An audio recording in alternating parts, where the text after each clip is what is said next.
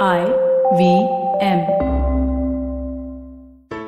There's a quick survey to fill out on ivmpodcast.com slash survey. It lets us know a little bit more about who's listening to us. And you know what? We're going to do a few prizes. So, I mean, like, we'll do a random drawing of like maybe 10 people and we'll send you all some swag. Remember, that's ivmpodcast.com slash survey where you can fill out the survey. भाई हम हिंदुस्तानियों को बतियाना बड़ा पसंद है बंगाली में अड्डा, उड़िया में खोटी, कन्नड़ा में हरटे और हिंदी में पुलियाबाजी। इस कला के लिए हमारी हर भाषा में एक शब्द है। तो प्रणय और मैं तो अक्सर मिलकर पुलियाबाजी करते ही रहते हैं। हमने सोचा कि आपको भी इसमें शामिल कर लिया जाए। तो आइए प्रणय और सौरभ के साथ करते हैं पुलियाबाजी। हेलो सौरभ कैसे हैं आप? बस बढ़िया प्रणय तुम बताओ। सौरभ अक्सर हम लोग पुलियाबाजी करते हैं उसमें कानून व्यवस्था की कभी कभी बात आती है और हम लोग हमेशा ये डिस्कस करते हैं कि उसके बारे में तो कोई डिमांड ही नहीं आती। हम लोग राज्य से कितनी चीज़ें एक्सपेक्ट करते हैं कि ये कर दो वो कर दो लेकिन जो कानून व्यवस्था है उसके ऊपर चर्चा काफ़ी कम होती है ऐसा आपको नहीं लगता? हाँ बिल्कुल मतलब जिसको कहते हैं ना छोड़ ही दिया लोगों ने कि इसको तो जाने दो गड्ढे ठीक कर दो पहले। हाँ मतलब वो हतोत्साहित हो गए हम लोग। और हाँ। ये बहुत अजीब बात है क्योंकि जैसे हम लोग राज्य की जो परिभाषा देखते हैं मैक्स वेबर वगैरह उसमें ऐसे कहते हैं ना कि वो संस्थान है जिसे वैध रूप से बल प्रयोग का एकाधिकार है है ना? तो बल प्रयोग और वैध रूप से उसका प्रयोग करना ये एकदम कोर चीज़ है किसी भी राज्य के लिए। लेकिन ऐ- ऐसा हो गया कि हम लोग राज्य से और कई चीज़ें करवाना चाहते हैं लेकिन इस चीज़ पे एकदम ही गिव अप मार दिया हम लोगों ने नहीं? हाँ हाँ और मुझे इसका हिंदुस्तान में थोड़ा सा और गहरा रीजन भी लगता है प्रणय खासकर हम तो शहरों में रहते हैं तो यहाँ पे फिर भी थोड़ा आपको कानून दिखता है। पर आप गाँव वगैरह में जाओ मतलब पहली बार मैं यहाँ पे ताजुब होता था जिसमें मैं जिस गाँव वाँव में गया तो मतलब एक पुलिस थाना तीन चार सौ गाँव कवर करता है कभी कभी ठीक है? हाँ हम्म, हम्म, हाँ तो और लेकिन सब कुछ वहाँ चल रहा होता है तो एक हिंदुस्तान में एक पुरानी एक सामाजिक व्यवस्था भी पैरेलल में चलती रहती है जिससे लोगों को लगता है कि चल तो रहा ही है ना? तो हिंदुस्तान राज्य नया है पर समाज बहुत पुराना है। हम्म। तो यहाँ पर एक ये भी चीज़ है कि हमारी राज्य से कानून के स्पेशली उसमें एक्सपेक्टेशन जो है वो शायद थोड़ी डिफरेंट भी रहती है क्योंकि आई मीन जस्टिस के बारे में हम बहुत बात करते हैं क्योंकि जो लोग पुरानी व्यवस्था में वंचित थे वो तो चाहते हैं पर बाकी लोगों को जो एलिट है, उनको लगता है हमारा काम तो चल ही रहा है ना। ठीक है हाँ। तो इसी विषय पे मुझे बहुत कुछ जानना था और हम दोनों को इसके बारे में रुचि तो है ही। तो हालिया एक इंडिया जस्टिस रिपोर्ट आई है, जिस second edition India Justice Report 2020 और उसमें काफ़ी कुछ डेटा है कि भारत की कानून व्यवस्था की हालत क्या है उसके ऊपर। और मुझे बहुत इंटरेस्टिंग लगा वो, क्योंकि जैसा कि हम लोगों ने कई बार डिस्कस किया है, किसी भी नीति बदलाव के लिए सबसे पहला स्टेप होता है अगर उसके ऊपर डेटा हो, उसके ऊपर एनालिसिस हो तो फिर हम लोग सही नीति बना सकते हैं। तो डेटा जो है वो फ़र्स्ट स्टेप है और ये एक बहुत ही अच्छा इनिशिएटिव है, जिससे कि साल दर साल हमें पता पड़ रहा है कि हमारे राज्यों की इस क्षेत्र में क्या हालत है? तो उसी के ऊपर थोड़ा और जानते हैं कि भारत की कानून व्यवस्था कैसी है और अगर कमज़ोर है तो क्यों है? ठीक रहेगा ना? बहुत बढ़िया एकदम। तो इसके लिए बड़े परफेक्ट गेस्ट को लाया हो मुझे दिख रहा है अभी जरा परिचय कराओ। हाँ तो इसके लिए हमारे साथ है वलय वलय सिंह प्रोजेक्ट लीड है इंडिया जस्टिस रिपोर्ट के और उन्होंने काफ़ी कुछ किया है इसी क्षेत्र में और इसके ऊपर उन्होंने लिखा भी है। तो वलय बहुत बहुत स्वागत है आपका पुलियाबाजी में। Thank you thank you Pranay Saurabh बुलाने के लिए पुलिया पे। तो एकदम शुरुआत करते हैं शुरू से। पुलिया पे चर्चा है तो इतमान से कर सकते हैं। तो सबसे पहले भले इस इनिशिएटिव के पहले उद्देश्य क्या था और आप कैसे जुड़ गए इसके पीछे? जी, पहले तो मैं इसका दर्शन भी करा दूँ, जैसे कि, लेकिन ये हमारी सेकंड रिपोर्ट है। इसका उद्देश्य ये है कि अभी तक आपने देखा होगा कि ये पुलिस प्रिजन्स जेलें जुडिशरी न्याय मतलब कोर्ट्स हैं हमारे, और लीगल एड इनके ऊपर काम हो रहा है, काफ़ी टाइम से हो रहा है, लेकिन अलग अलग साइलोज में हो रहा है। कोई एक होलिस्टिक पिक्चर नहीं थी। खासकर अगर हम उनकी कैपेसिटी की अगर बात करें, क्षमता क्या है? गुणवत्ता पे बहुत कमेंट्री आती है और आनी भी चाहिए। लेकिन किसी वजह से अभी तक शायद उस, किसी ने उसको क्षमता या उसके स्ट्रक्चर लेवल पे नहीं देखा था। तो हमारी कोशिश इसमें यह है कि हम लोग छह अलग अलग संगठन है ऑर्गेनाइजेशन एक्सपर्ट ऑर्गेनाइजेशन हैं जो अपने अपने पुलिस प्रेजेंस जुडिशरी को हम pillars of the justice system कहेंगे इन पे काम करते हैं। तो हम लोगों का उद्देश्य हम लोग साथ आए।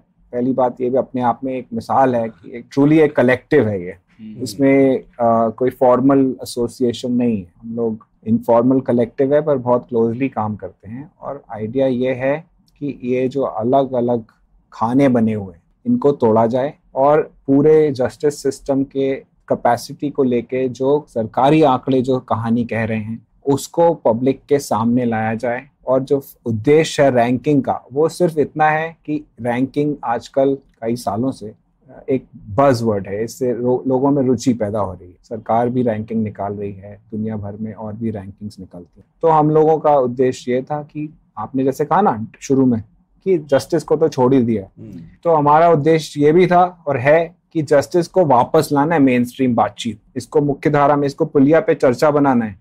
सिर्फ़ उस किसी बहुत ही घिनौना क्राइम हो जाए, उस पर जुलूस निकालना और फिर भूल जाना, उससे काम नहीं चलेगा। इस पे एक लंबी बातचीत, एक लंबा और एक सस्टेन ट्रैकिंग की ज़रूरत है और वही, अगर छोटे में कहूँ तो वही मकसद है इंडिया जस्टिस रिपोर्ट का। बिल्कुल तो वाले इससे पहले भारत में ऐसा कोई प्रयास नहीं था क्या कि जिसमें पूरे जस्टिस सिस्टम का ब्यौरा एक रैंकिंग में हो? अभी तक मतलब सत्तर साल से ऐसा कोई इनिशिएटिव नहीं था क्या?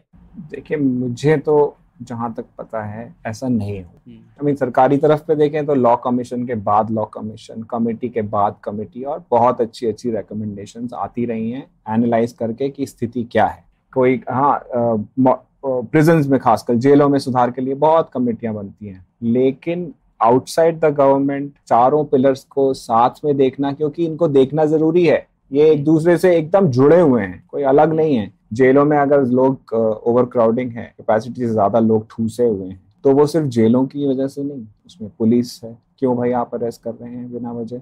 उसमें जज है क्यों भाई आप उसे बेल नहीं दे रहे हैं? अगर वो क्राइम इतना बड़ा नहीं है उसे बेल दीजिए। उसमें लीगल एड है कि आप अगर वो अफोर्ड नहीं कर सकता लॉयर या उसको महिला को अपने अधिकारों के बारे में पता नहीं है तो आप वहाँ मौजूद होना चाहिए। वो मौजूद होने के लिए आपको किसी ने हायर करना पड़ेगा। तो इसलिए चारों पिलर एकदम घड़ी के खांचों पुर्जों की तरह चलते हैं। इसलिए बहुत अभी तक तो नहीं लगता किसी ने करा हाँ और शायद ये भी हो सकता है ना, क्योंकि ये कानून व्यवस्था हमारे संविधान के अंतर्गत जो राज्य स्तर पर होती है तो अलग अलग राज्य शायद अलग अलग तरीके से मैनेज कर रहे होंगे, लेकिन किसी ने पूरे एक तरीके से इन चारों स्तंभों को सोचा नहीं होगा सेंट्रल तरीके से हाँ ये एक राज्य का विषय तो है ये पर आपने कहा कि अब आज की तारीख में तो हमारा स्टेट बहुत स्ट्रांग होता जा रहा है हम्म। है ना तो और जब सेंट्रल और स्टेट में अधिकांश स्टेट्स में अगर एक ही राजनीतिक पार्टी की सरकारें हों तो फिर वो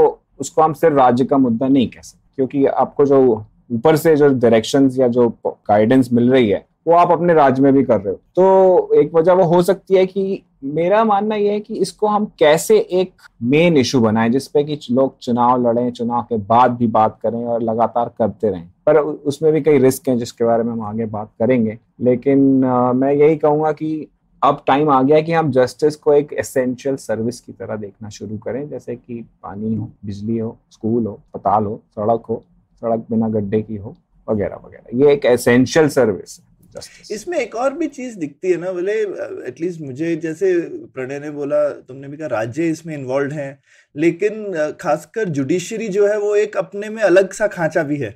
उसमें ऑल दो राज्य, उस राज्य से पैसा आता है, लेकिन लोगों को डर भी लगता है क्योंकि जुडिशरी खुद भी मना करती है, भाई मेरे में दखल अंदाजी कम करो। और हमको दखल अंदाजी से भी डर लगता है कि दखल अंदाजी ज़्यादा की जाए तो इंडिपेंडेंस को कुछ ना हो जाए, पर खुद से काम नहीं कर रहे ठीक से। कि ये एक अलग भी चीज़ है, क्योंकि एक वो बड़ा स्तंभ भी है ना जुडिशरी तो जिसको इंडिपेंडेंट होना भी चाहिए। है ना? तो एग्जीक्यूटिव होता है जुडिशरी होता है और लेजिस्लेचर होता है। लेकिन एक चीज़ होती है कि जुडिशरी एज अ इंस्टीट्यूशन और एक है जुडिशरी एज ए सिस्टम जो काम करे भाई। हाँ, दो तो अलग एक बातें हाँ। दो अलग बातें हैं। तो एक काम करने की और एक एफिशिएंसी एक है इंडिपेंडेंस की भाई आप जो करें वो ठीक करें पर आप काम भी तो करें ठीक से। एफिशिएंसी वाला जो चीज़ है वो चला जाता है क्योंकि हम उनको एग्जीक्यूटिव की तरह देखते नहीं हम्म, हम्म, हम्म, है ना? तो एक वो, वो भी मुझे लगता है कि एक ये शायद जो हमारा ढांचा ही है उसमें आई मीन शायद सही वजह से कोई गलत वजह नहीं है पर एक कमज़ोरी है ये। ऐसा आपको दिखा क्या?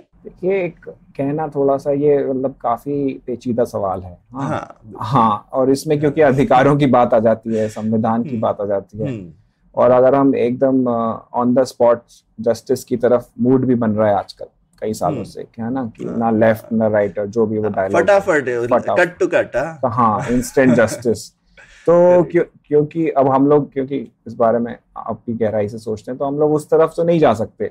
लेकिन न्यायपालिका की क्षमता की बात करें तो न्यायपालिका की क्षमता बहुत कम है। हमारी 135 करोड़ आबादी है और हमारे पास मुश्किल से पच्चीस हज़ार जजेस हैं। हम्म, हाँ हर एक पॉपुलेशन रेशियो जो होता है जजेस का वो 21 जजेस 10 लाख लोगों। हम्म, यूएस में है 107 हम्म, अब आप खुद सोच लीजिए मैं ये नहीं कह रहा कि हम यूएस के तुलना कर सकते हैं अपने आप से पर कई चीज़ों में तो करते ही हैं। हाँ। तो भाई कुछ चीज़ों में करते हैं अपनी अपनी सिलेक्टिव ये क्या बात हुई? अगर करना है तो फिर अच्छे से करो ना। पर नहीं नहीं और ये तो ऐसी चीज़ें है कि भाई जज तो हम में से आपस में बनने हैं उसके लिए तो भाई हम एक तरफ़ बोलते हैं कि नौकरियाँ कम है बहुत ज़्यादा बेरोजगारी है हिंदुस्तान में। भाई ये तो एक मूलभूत चीज़ है। तो भाई आप अपने कुछ और सह जो आपके साथी लोग हैं उनको जजेस बनाइए तो हाँ। ये। तो एक पहली चीज़ है भाई हम उनके जितना पैसा बाद में कमाएँगे पहले न्याय तो ले लें उतना वो एक एक हाँ तो इसमें जो अपनी देश की खूबी है ना कि हम्म। जो जिसको जो ठिया मिल गया मठ हो मंदिर हो छोटा सा पद हो दफ्तर के बाहर शायद एक स्टूल ही हो लेकिन वो उस पर पूरा कंट्रोल जमा के रखेगा और चार्ज करेगा एक्सेस के लिए। ये एक सामंतवादी सोच कह लीजिए या हमारे डीएनए तो नहीं कहूँगा, लेकिन हमारे यहाँ कल्चर बन चुका है। तो उस तरह से भी मुझे लगता है कि जुडिशरी में जो रिफॉर्म होना चाहिए वो सिर्फ़ बजट नहीं है इस वजह से नहीं होता हमको हम्म। लगता है जहाँ तक हम्म। कि भाई बजट तो सरकार हमेशा ही कहती है कि आप कभी जाएँगे आप आप लोग जाते होंगे कभी तो कहेंगे सरकार money is not an issue we have enough funds और इन सब चीज़ों के लिए तो बिल्कुल भी ये कोई एक्सक्यूज बता भी नहीं सकते हाँ और ये सिर्फ़ जजेस का नहीं है ना हमारे यहाँ डॉक्टर भी कम है हम हर चीज़ में देखते हैं सीए भी कम है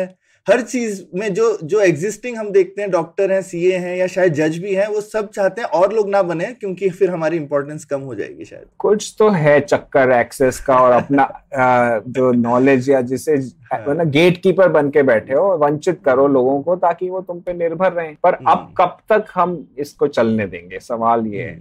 बिल्कुल। यही सवाल था जब इंडिपेंडेंस हुई थी और ये सवाल आज भी है। आज भी है। आज भी है। हम्म, और सौरभ हम लोगों ने सूर्य प्रकाश से बात की थी बहुत पहले सौ एपिसोड हम्म, पहले। हम्म, और दक्ष एक संस्था है जो इंडिया जस्टिस रिपोर्ट से भी जुड़ी हुई है उसमें। तो आ, मुझे लगता है काफ़ी बात हो रही है नैरेटिव चेंज हो रहा है कि एफिशिएंसी बढ़ानी चाहिए जुडिशियल सिस्टम में। तो जैसे जुडिशियल पेंडेंसी की बात हम लोग हमेशा सुनते रहते हैं कि कितने केस कितना टाइम लगता है केस आने के लिए, कितने जजेस हैं, जैसा वलय ने कहा हर लाख आबादी के लिए। तो मुझे लगता है अभी पिछले कुछ सालों से ऑलरेडी ये नैरेटिव अब बदल रहा है कि जुडिशियल सिस्टम को और एफिशिएंट होना चाहिए टेक्नोलॉजी आनी चाहिए उसमें, जिससे कि बेहतर हो ठीक है क्वालिटी की बात भी करेंगे लेकिन सबसे पहले इतने ज़्यादा से ज़्यादा केस ढंग से निपटा पाए और सही तरीके से निपटा पाए वो बात ऑलरेडी पहुँच चुकी है उसके ऊपर काफ़ी काम दक्ष वगैरह और संस्थान कर रहे हैं तो वो बदलाव तो आया है ऐसा नहीं लगता आप दोनों को? मुझे लगता है बात हो रही है अभी बदलाव में तो समय है ना प्रणय तो ये शुरुआत है हमेशा हाँ। बदलाव तो हमने देखा हाँ। ऐसे ही आता है कि पहले बात हाँ। होती है फिर बदलाव होता है और वो हम भी इसीलिए ये बात कर रहे हैं कि बात बात और आगे बढ़े और और लोगों तक पहुँचे। पर बदलाव में अभी दूरी है और हमको शिकायत करनी पड़ेगी ना अपनी बात में वरना बदलाव कहाँ से आएगा? हाँ बिल्कुल बिल्कुल। और हाँ। हाँ नहीं ब- देखिए बदलाव तो होना ही है चाहे पर अब हमें उसकी स्पीड की बात करनी है ना। हाँ। भाई आप वो नल खोला छोड़ दिया और आप लगे हो पोछा लगाने तो कैसे सूखेगा फ्लोर? तो हमारा जब तक मतलब मेरे कहने का एक एग्ज़ाम्पल है कि हमारे बदलाव की स्पीड और हमारी उसकी स्कोप उसकी सीरियसनेस उसके लिए कमिटमेंट क्या वो काफ़ी है? पहली चीज़ वो हमें उसके पुश करते रहना पड़ेगा उसके अब जो साढ़े चार करोड़ केसेस पेंडिंग हैं या उससे अब कम हो गए हैं शायद 4.1 करोड़ हो गए अब ये पेंडिंग केसेस को कैसे वीड आउट करेंगे? ऐसा तो नहीं किया, ऐसा कोई मोरेटोरियम ला सकता है गवर्नमेंट की? नहीं। आज से लेके दिसंबर 22 तक कोई केस फ़ाइल नहीं होगा किसी भी अदालत में। अब तक पुराने नहीं सॉल्व हो जाएँगे। ये तो संभव नहीं है। तो ये सारी फैक्टर्स को हम लोग ध्यान में रखते हैं और गवर्नमेंट भी हमसे ही बनती है, कोई जादू की छड़ी किसी के पास नहीं। लेकिन एक सतत प्रयास, एक निरंतर, एक एफर्ट क्या हम डाल रहे हैं? और उसको हम हाईलाइट करना, ये हमारी ड्यूटी है। एज एक्टिव सिटीजन बिल्कुल। Which is what we are trying बड़े अच्छे से बताया आपने क्या उद्देश्य है। सब हमारे लिसनर्स भी इससे इत्तेफाक रखेंगे क्यों? तो मतलब मुझे लगता है सब लोगों को पता है कि कानून व्यवस्था भारत में कमज़ोर है, इसमें मतलब कुछ भी नया नहीं कहेंगे हम लोग अगर इस बात को कहें तो। लेकिन आपके रिसर्च में आपको पता पड़ेगा कि भारत अपवाद है क्या इस मामले में कि जो समानांतर देश है अपने अमेरिका से कम कंपैरिजन की, लेकिन हिस्ट्री अलग है पाथ डिपेंडेंस जिसे कहते हैं वो अलग है।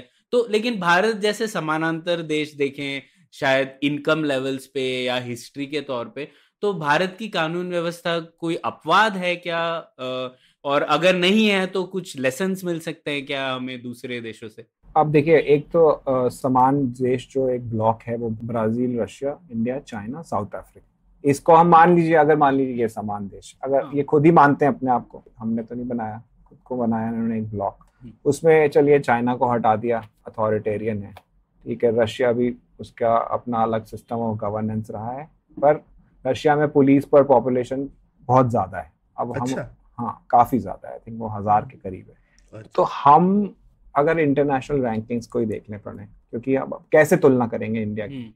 हम्म, भाई अब समांतर अब मैंने कहा यूएसए में देख लीजिए यूके देख लीजिए अब कई मामलों में हम उनसे समांतर मानते हैं समान मानते हैं अपने आप को और कई चीज़ों में कहते हैं नहीं भाई how can you compare and I agree we should not compare with USA which is दो ढाई सौ साल आगे है हमसे वो उसके जर्नी में एक तरह से देखा जाए। ऐसे यूरोप के भी कई देश हैं तो नहीं करना चाहिए ठीक है। पर दुनिया में अगर हम देख लें तो एक ये रूल ऑफ़ लॉ इंडेक्स आता है अच्छा। वर्ल्ड जस्टिस प्रोजेक्ट का rule of law index qualitative है सर्वे होता है, हज़ारों लॉयर्स और प्रैक्टिशनर्स को सर्वे करते हैं लोग और ये रैंकिंग निकालते हैं। उसमें इंडिया की रैंकिंग है 79 आउट ऑफ़ 139 ठीक है। उसके स्पेसिफिकली क्रिमिनल जस्टिस सिस्टम की थीम देखेंगे तो हमारे 86 आउट ऑफ़ 139 नीचे गिर गए। हमारे से बेहतर कौन से देश कर रहे हैं? हम इससे अग्री नहीं करना अपना अपना विचार है।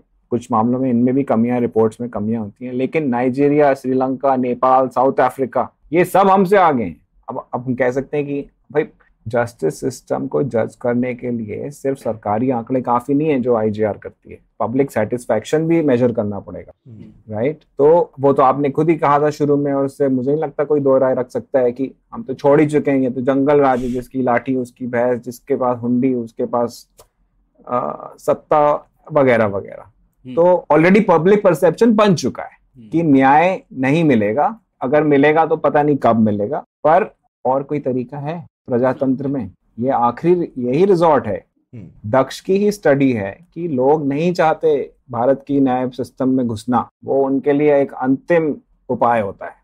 उसके पहले वो अगर मतलब आप उनको छोड़ दें जो फिर मुकदमेबाजी जैसे यूपी में या बिहार में मुकदमेबाजी एक अलग ट्रेंड है क्योंकि वो कब से कर रहे हैं? अंग्रेज़ों के पहले से कर रहे हैं मुकदमेबाजी। हम्म।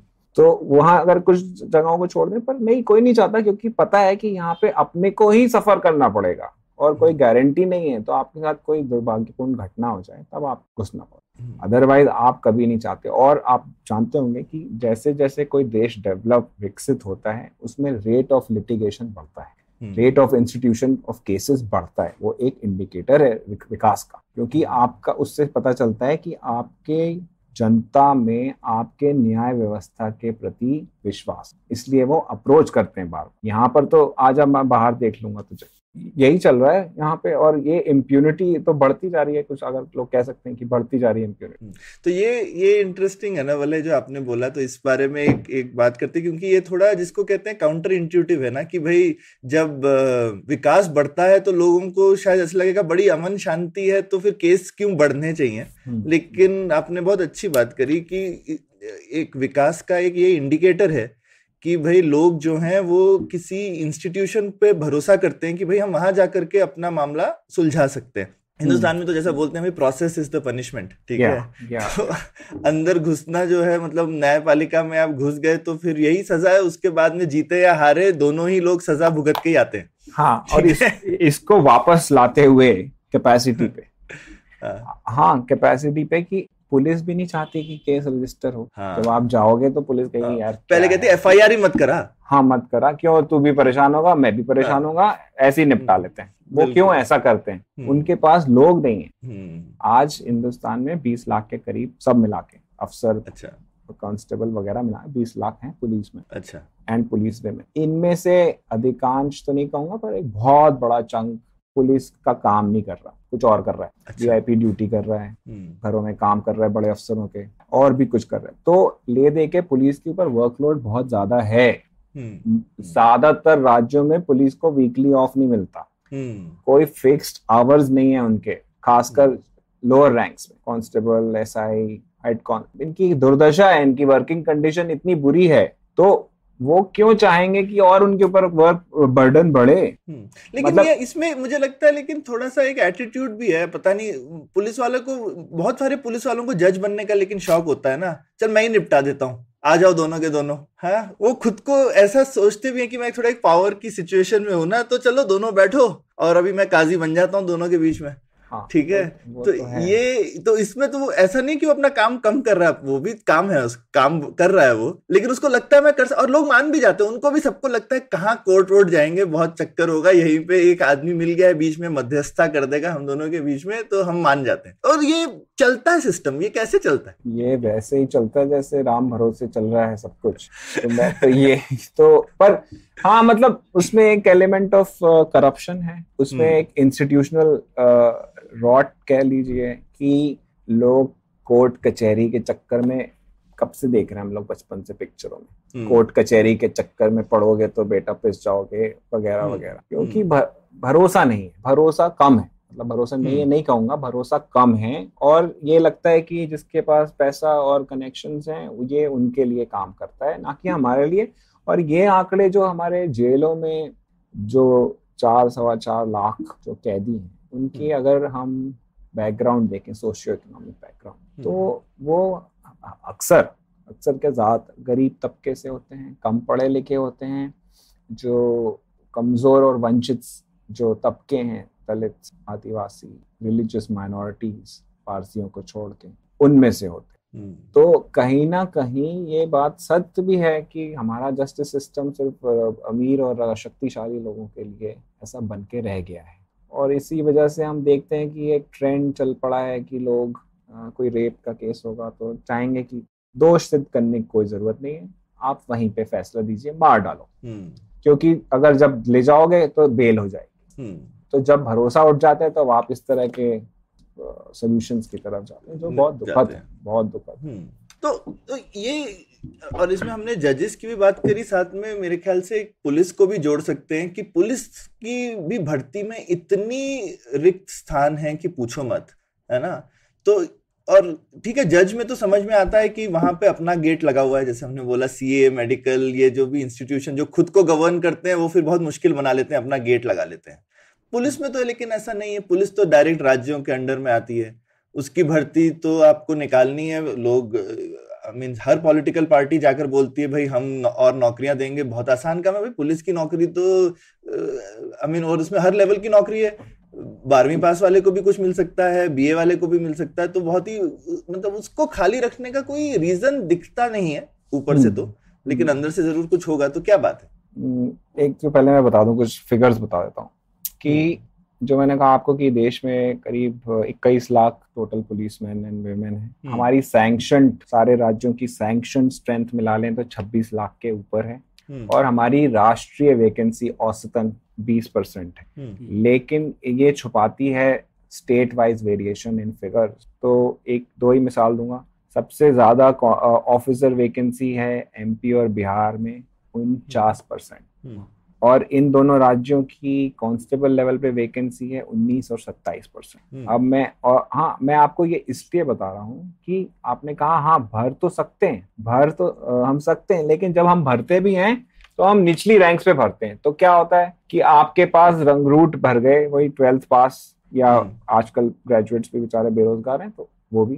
तो उनको आपने भर लिया और आपकी ये रिक्रूटमेंट्स हो रहे हैं पॉलिटिक्स के अराउंड आपने देखा होगा। कई सारे राज्यों में जब रिक्रूटमेंट होते हैं या तो वो चुनाव के आसपास होते हैं या चुनाव का एजेंडा होता है। सरकारी नौकरी आज भी बहुत बड़ा हमारे यहाँ अट्रैक्शन है। हम्म, उसके बाद ये पॉलिटिकल हो चुके हैं इसलिए इन पे लिटिगेशन होती है। अच्छा। कि भाई कोई अलग या तो दूसरी पार्टी आएगी तो वो उन्हें कैंसिल करेगी क्योंकि आपने अपने लोगों को भर लिया था जैसे कि आई थिंक जब पिछली बार भाजपा यूपी में जीती थी तो कुछ ऐसे उन्होंने भर्तियाँ कैंसिल करी थी क्योंकि उन्होंने कहा भी समाजवादी ने अपने ही समाज के लोगों को भर लिया। ठीक है। तो मैं यही कहूँगा भर्ती इसलिए नहीं हो रही सिर्फ़ कि फंड्स नहीं भर्ती इसलिए भी नहीं हो रही क्योंकि प्रोसेस जो है उसमें कोई जवाबदेही नहीं है। मतलब कौन कहेगा आपको कि आपको भाई भरना है इसको you can't leave them empty who will say is the political uh, i mean the government head and if the chief minister is not motivated for whatever reason then you can't do anything the second point which i would like to know आपसे भी कि जब police का काम ऐसे ही चल रहा है तो पुलिस को सशक्त करेंगे क्यों क्योंकि अगर एक स्वतंत्र सशक्त पुलिस बन जाती है तो राजनेता के कंट्रोल से बाहर जाने का रिस्क है और राजनेता के कंट्रोल से अगर पुलिस बाहर गई तो आपके जो कंट्रोल है ना समाज पे या जनता पे जो आप कर सकते हैं वो आप नहीं कर पाएँगे। अंग्रेज़ों ने पुलिस को बनाया था सिर्फ़ दमन करने के लिए कि डर के रहो आवाज़ उठाओगे तो हम्म। हम्म, अब अंग्रेज़ जैसे सब जानते हैं चले गए। लेकिन पुलिस का कल्चर उसका रूप ज़्यादा नहीं बदल पाया। और राजनेता जो हमारे आदर्श थे वो उससे बहुत दूर है। तो ये पुलिस एक बेसिकली हथियार है। सत्ता का हथियार है और उस हथियार को अपने काबू में रखना उसको सशक्त और स्वतंत्र नहीं बनने इसलिए ट्रांसफ़र पोस्टिंग भाई प्रकाश सिंह जी जो फॉर्मर डीजीपी थे उत्तर प्रदेश के और बहुत नामचीन और रिस्पेक्टेड अधिकारी हैं उन्होंने उनके उनकी वजह से एक जजमेंट आया। प्रकाश सिंह जजमेंट उसमें कई तरह के रिफॉर्म्स कहे गए। पब्लिक कंप्लेंट अथॉरिटी बनेगी एसएससी बनेगा।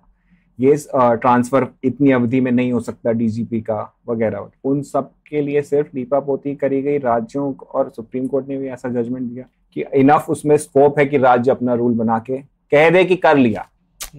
पर हुआ पर- कुछ नहीं। पर हुआ कुछ नहीं। तो अ, आप जो कह रहे हो ना पदों की रिक्ति ये पदों की जो ये ये जो भरे नहीं जा रहे हैं इसके पीछे सिर्फ़ एक वजह नहीं है। इसके पीछे मुझे तो लगता है स्वार्थ है वेस्टेड इंटरेस्ट का वेस्टेड इंटरेस्ट सबसे बड़ा कौन है हम सब जानते हैं।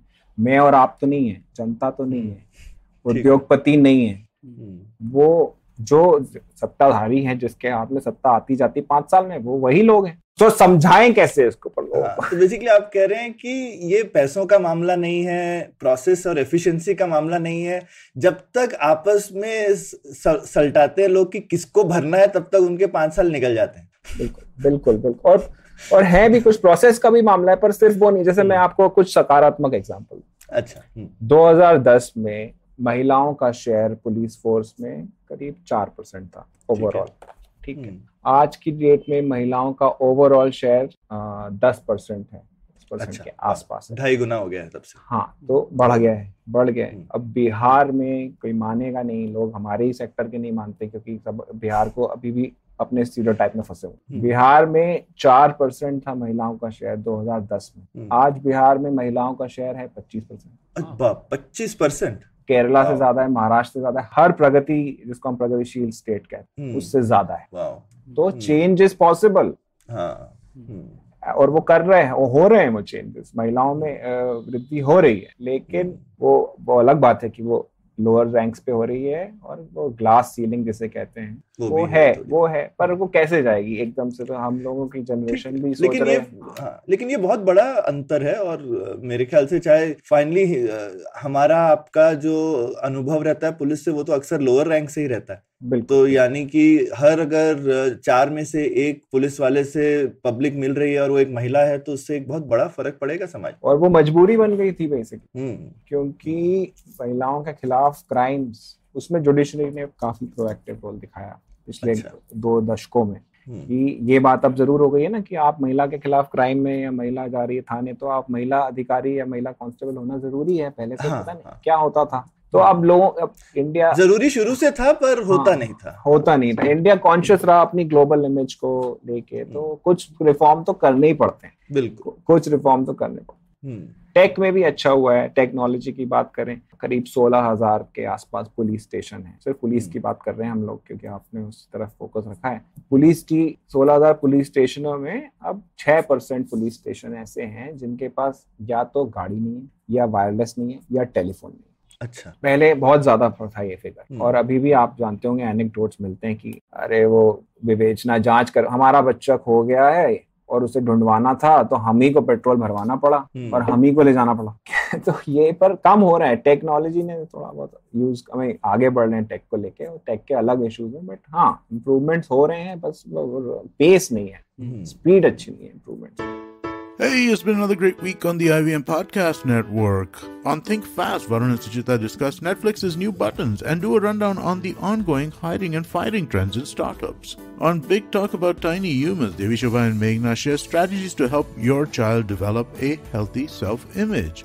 On Cyrus Says, Nivedita Naveen Antriksh and Cyrus discuss KGF Chapter 2 crossing 200 crore rupees over a single weekend. On Smarter with Sid, Siddharth talks about whether brands should use sustainability as an angle for marketing. And on Tere Mere Raste, Keshav takes us to the sea of humanity and faith, the Kumbh Mela. Do follow us on social media. We're IVM Podcast on Twitter, Facebook, Instagram, and LinkedIn. And remember, if you're enjoying this show or any of our other shows for that matter, please do tell a friend. Also, please don't forget to rate us on any of the platforms you're listening to us on. And remember, you can always check us out on YouTube. We have a number of channels. You can go to ivmpodcast.com slash YouTube to take a look at what those channels are. We're also doing a small listener survey to understand how you respond to our shows and the advertising on the network. We would really, really appreciate it if you could spare a few minutes to fill it out. It really helps us build better shows for you and understand what you're looking for from advertising and what we can talk to advertisers about about who you are. Please go to ivmpodcast.com slash survey. It really, really, really would help us out. Thank you so much. And finally, would like to thank our sponsors for the network this week, SBI Life Insurance, India Water Portal, and Jupiter, a digital banking app. Thank you so much for making this possible.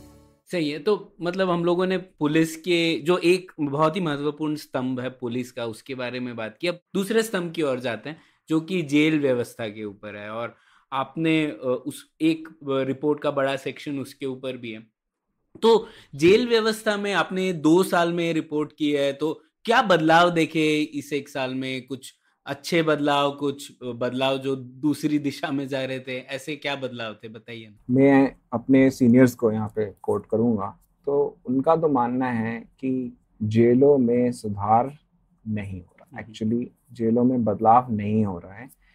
हम कुछ अपवाद छोड़ दें तेलंगाना को छोड़ दें कहीं हिमाचल को छोड़ दें उन अपवादों को तमिलनाडु के शायद कुछ जेलों को छोड़ दें। तो अपवादों को छोड़ के जेल अभी भी एक बंद जगह है जिसके अंदर घुसना वहाँ से जानकारियाँ निकालना बहुत मुश्किल है।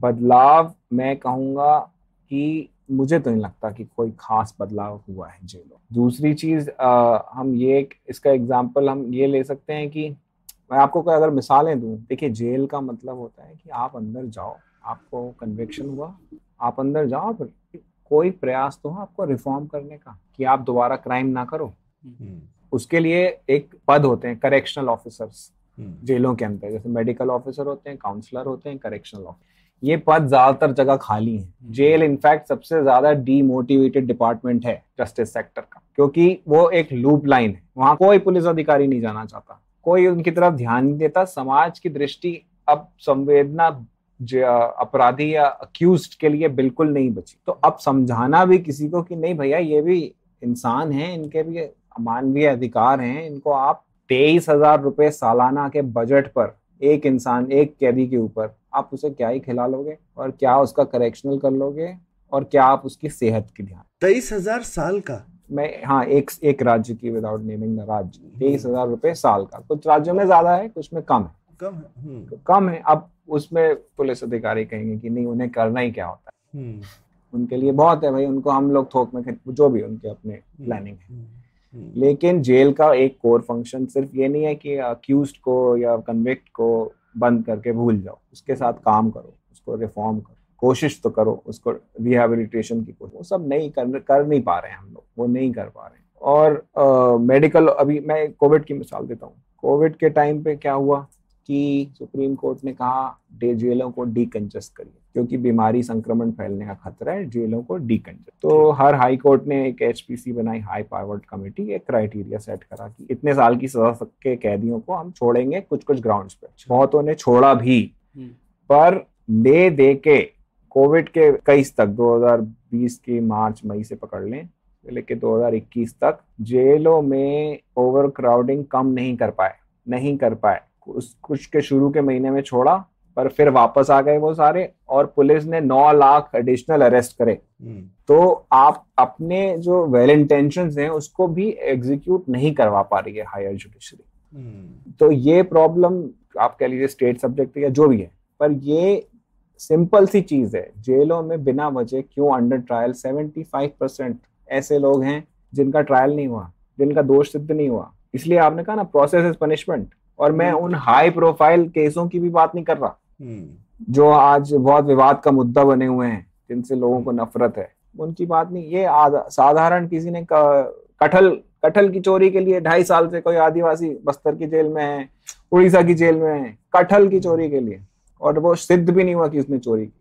हम्म, तो हम भूल जाते हैं। वही उसमें एक प्रवाह भी है और एक भंडार भी है ना। स्टॉक वर्सेस फ्लो इशू है। जैसे हम लोगों ने दो एपिसोड पहले ही बात की थी, बिहार में जो अल्कोहल प्रोहिबिशन है, उसके चक्कर में कितने ही अंडर ट्रायल्स हैं, जो कि और ऐड हो गए हैं, क्योंकि उनके ऊपर प्रूफ भी नहीं हुआ और क्या ही है उनका अपराध कि उन्होंने कंज्यूम किया है अल्कोहल उसके चक्कर में जो सुप्रीम कोर्ट का ऑर्डर था, उसमें बोला था, सोलह हाईकोर्ट जजेस एक टाइम पे यही केस डील कर रहे थे। कि कोई अल्कोहल पी रहा है और उनके केस और प्रोसिक्यूशन, बेल वगैरह। तो इस तरीके की भी बातें होती हैं। And you. नो मैं ये तो यही कहूँगा कि कुछ लोकल लॉज हैं स्टेट्स के। अब जैसे उड़ीसा है, वहाँ पे गांजा उगाना भाई, गांजा उगा रहे हैं, ना एनडीपीएस एक्ट में बेल नहीं होती। भरे जा रहे हैं लोग, जो कुरियर है, जो लेके जा रहे हैं, दो बोरी साइकिल पे, एक बोरी, जहाँ भी, जो भी। पुलिस पकड़ ली है और जजमेंट है सुप्रीम कोर्ट का अर्नेश कुमार कि आप बेल मत दीजिए सात साल या हीनस क्राइम के अलावा हम्म। तो पर जजेस लोअर जुडिशरी में रिस्क नहीं लेना चाहते हम्म, अच्छा। उनको पुलिस ये भी बोलती है उनको देखिए सबको पता है सिस्टम इज़ ब्रोकन हम्म। तो सिस्टम इज़ ब्रोकन तो इसकी सजा आई मीन इसका दोष सिद्ध नहीं कर पाएँगे अभी तो जेल में डालो बाद में हम्म। देखेंगे कुछ दिन तो परेशान होगा हम्म, और एक और परिवे अ, पर इसमें पर्सपेक्टिव है कि लोग कहते हैं कि हम लोग या आप लोग सिर्फ़ माने अक्यूज के मानव अधिकार की बात कर। भाई विक्टिम के मानव अधिकार क्या? सौरभ जी को किसी ने रास्ते में धक्का मुक्की करी उनकी बेइज्जती हुई मान लीजिए। उन्होंने केस करा वो गया कोर्ट में जज ने कहा नहीं इसके तो खून भी नहीं निकला सर भी नहीं फूटा कुछ भी नहीं हुआ इसको बेल दो। पर सौरभ जी को के साथ तो बदतमीजी हुई ना। हम्म, तो सौरभ जी के एक छोटा सा एग्ज़ाम्पल ऐसे महिलाओं के खिलाफ क्राइम बच्चों के खिलाफ क्राइम मर्डर एटसेट्रा उसमें लोग कहते हैं कि बाद में देखेंगे ये गिल्टी था कि नहीं। अभी तो अक्यूज पहले तो बना ना। अंदर कर दो। पहले तो अंदर करो सजा तो दो। हम्म, यही सजा है। इसकी लाइफ बर्बाद हो तीन साल यही सजा है इसकी। ये हम्म। मतलब तो ये एटीट्यूड बन चुका तो हम्म। सबका ही उससे हाँ। उससे पहले तो लोग बोलते हैं, पहले ठोको तो इसको खासकर कुछ लड़के के साथ हो जाए या कुछ तो कहते हैं पुलिस से पहले तो मैं इसको ठोक के वहीं पे सजा दे देते हैं। उसके बाद अंदर जाना तो आगे की बात है। हाँ वो वो तो हाँ एक वो तो हिंसा का जो एक एकदम से एक्सप्लोजन एकदम मैं एकदम से भी नहीं कहूँगा। आई थिंक कई अच्छे हिस्टोरियंस ने किताबें लिखी हैं। हिंसा हमारे समाज में एक कब से है इंटेग्रल पार्ट है। वो एक गांधी जी का पीरियड आया तो अहिंसा बहुत बड़ा वो हो गया था मूवमेंट बट अदरवाइज़ जैसे और देशों में लोग हिंसा मतलब मनुष्य और हिंसा एक काइंड ऑफ़ गो टुगेदर है ना। हम्म, आप तो सभ्य समाज को कॉन्शियसली क्रिएट करें और रूल ऑफ़ लॉ बनाएँ और उसको बार बार गली नुक्कड़ चौराहे मैदान शहर गाँव में इन्फोर्स करें तब तक कोई थोड़ी सभ्य बनेगा। हम्म, मतलब ऐसे ही सिर्फ़ एजुकेशन से मतलब ये सोसाइटी से ही आ रहा है जस्टिस सिस्टम तो मैं वो सिर्फ़ ब्लेम नहीं करूँगा सिर्फ़ सरकारों को हम भी हैं इसमें समाज भी है। हम्म, बिल्कुल। हम्म, बिल्कुल बिल्कुल। तो इन चारों स्तंभों में क्या ये कहना ठीक होगा जो जेल व्यवस्था है उसमें आपने सबसे ज़्यादा सबसे कम बदलाव देखे compare to the other three I think so sir I think it would be right to say that but मैं ये नहीं कहना चाहूँगा कहीं पे भी बदलाव नहीं है। हम्म। और देखिए ये समझना ज़रूरी कि जेल के पास जेल एक अंतिम कड़ी है न्याय हम्म। प्रणाली। पहले पुलिस और उसी टाइम पे अगर लीगल एड जो मिलना चाहिए अस्सी परसेंट आबादी को उसका बजट है मुश्किल से ढाई सौ करोड़। हम्म। या अगर आप ऐड कर लो तो मतलब स्टेट का भी बजट ऐड कर लो तो एक हज़ार बारह सौ हो जाए पूरे देश का हज़ार बारह सौ करोड़ है। जी। मतलब मैं रफ अभी बता रहा हूँ मैं एग्जैक्ट फिगर पर नहीं it's not a lot of money hmm, and hmm, जो आखिरी कड़ी है जेल तो जेल तो समस्या का हल नहीं निकाल सकता। जेल ये कर सकता है कि जेल में जगह हो जेल में खाना पीना साफ़ सफ़ाई दवा दारू का प्रावधान हो और कुछ उनका करेक्शन हो। पर जेल को तो जज को करना है पुलिस को अरेस्ट नहीं करना है गलत यू नो लीगल एड को अपना काम करना है। तो जेल खुद से कुछ कर भी नहीं सकते ज़्यादा सिवाय कि बस उनकी लिविंग कंडीशंस को थोड़ा बेटर कर सके। ये भी समझने की ज़रूरत है। बोले थोड़ा लीगल एड पे बताइए ये चीज़ के बारे में लोगों को काफ़ी कम भी पता होता है और खासकर हमारे जैसे लोग जो कि हमेशा अगर कोई ज़रूरत पड़े तो हम तो पैसा दे करके वकील ले सकते हैं ना। तो लेकिन ज़्यादातर देश के जो लोग हैं वो तो नहीं ले पाते और इसीलिए पचहत्तर परसेंट आपने कहा अंडर ट्रायल लोग हैं वो वही सब लोग हैं जो कि अगर किसी के पास क्षमता हो और पैसे हो खुद का लॉयर करने की तो वो थोड़ी जेल में रहता है। हम्म, हम्म, है ना? बिल्कुल। तो तो ये भी एक जुड़ा हुआ तो ये कैसे काम करती है प्रणाली लीगल एड की? क्या होता है? कोई अगर अरेस्ट हो गया हाँ। तो किस तरह से जरा थोड़ा प्रोसेस बताइए ना फिर उस आदमी का लाइफ साइकिल। हाँ हाँ हाँ हाँ। तो देखिए जैसे दो चीज़ें हाँ। लीगल एड सिस्टम में आप विक्टिम को भी लीगल एड मिलना ज़रूरी है। तो हम्म। आजकल तो महिलाओं के खिलाफ क्राइम्स में तो विक्टिम कॉम्पनसेशन स्कीम्स हैं राइट तो आपके साथ कोई घटना हुई अ, कोई रेप की घटना या जो भी आप राज्य सरकारें इस मामले में बहुत सेंसिटिव हैं और वो विक्टिम कॉम्पनसेशन अच्छा। दिलाना अच्छा। विक्टिम को वो लीगल एड का काम अच्छा। वो कोऑर्डिनेट करेगा विक्टिम से कोऑर्डिनेट करेगा कोर्ट से कोऑर्डिनेट करेगा पुलिस से और फिर फाइनली राज्य सरकार से तो तो तो ये लीगल एड कैसे कोई डिपार्टमेंट होता है या हाँ, क्या हाँ। क्या होती है चीज़ ये चीज़? तो देखिए एक है नेशनल लीगल सर्विसेज़ अथॉरिटी ये अच्छा। एक। एक्ट बना था 1980s में। ये अथॉरिटी है नालसा बोलते हैं इसे। और नालसा के अंदर जैसे सुप्रीम कोर्ट के बाद हाई कोर्ट वैसे नालसा के बाद होता है S L S A state legal service authority अच्छा। उसके बाद आता है जिसमें हाई कोर्ट मतलब जजेस अपॉइंट होते हैं एस एल एस ए में। जजेस सीनियर जज ऑफ़ द स्टेट उसके बाद आ गए जिला स्तर पे तो वहाँ पे district legal services authority hmm. उसके बाद आ गए तालुका लीगल सर्विस अथॉरिटी अच्छा, और फाइनली गाँव के क्लस्टर पे एक लीगल सर्विसेज़ क्लिनिक होनी चाहिए। अच्छा। ये फ्री है।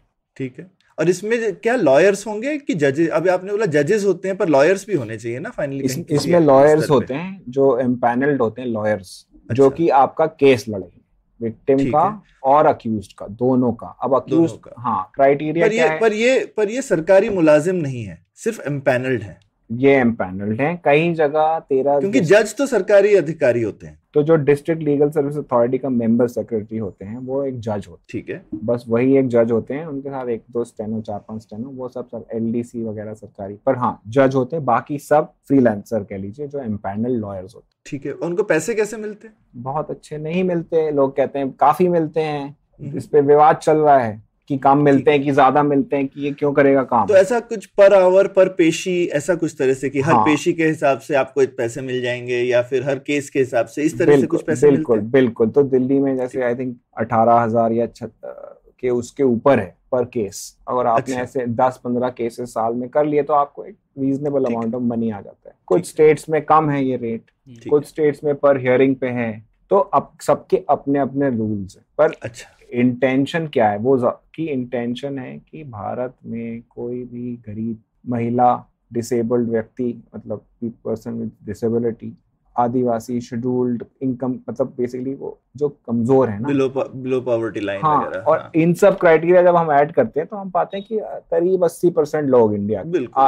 अस्सी नब्बे करोड़ लोग तो हैं ही एक सौ तीस में। आराम से एलिजिबल है इसके लिए। उसको केटर करने के लिए आपको पैसा डालना पड़ेगा ना you have to put your money. मतलब वही आप कह रहे हैं मतलब हज़ार करोड़ रुपए अगर खर्च हो रहा है देश में हज़ार का चलो आप दो हज़ार भी होगा तो मतलब ये कुछ भी नहीं है ना। हाँ और इसीलिए लोग कहते हैं फ्री लीगल एड मतलब कौन फ्री में डॉक्टर और फ्री में वकील हम्म नहीं नहीं करवाना। चाहिए।